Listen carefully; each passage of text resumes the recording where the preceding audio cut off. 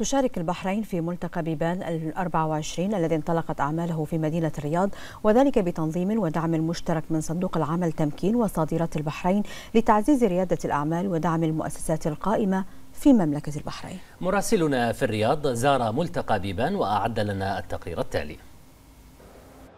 بمشاركة مملكة البحرين انطلقت في الرياض أعمال ملتقى بيبان الذي تنظمه الهيئة العامة للمنشآت الصغيرة والمتوسطة في المملكة العربية السعودية تحت شعار وجهة عالمية للفرص وتأتي مشاركة مملكة البحرين في الملتقى بتنظيم ودعم مشترك من صادرات البحرين وتمكين لتعزيز ريادة الأعمال ودعم المؤسسات القائمة في مملكة البحرين.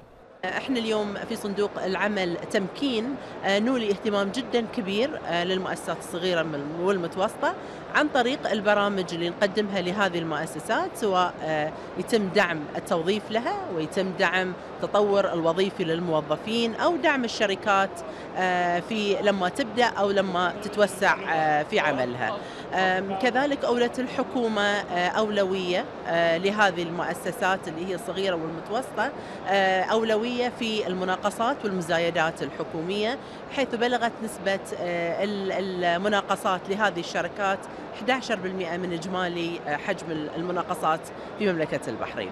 وشهد الملتقى توقيع صندوق العمل تمكين في مملكة البحرين مذكرة تفاهم مع الهيئة العامة للمنشآت الصغيرة والمتوسطة في المملكة العربية السعودية حيث ترعى تمكين مشاركة المؤسسات البحرينية في الملتقى بالشراكة مع صادرات البحرين. إحنا طبعا جدا سعيدين بمشاركتنا في ملتقى بيبان 2024 هالسنة بدعم من صندوق العمل تمكين. آه، اللي بنيناها على المشاركة المثمرة آه، لصادرات البحرين السنة الماضية. من خلال هاي المشاركة تم مشاركة عدد أكبر من الشركات وتعزيز فرص تواجدهم على الساحة العالمية. ويجمع ملتقى بيبان أكثر من 250 متحدث محليا ودوليا.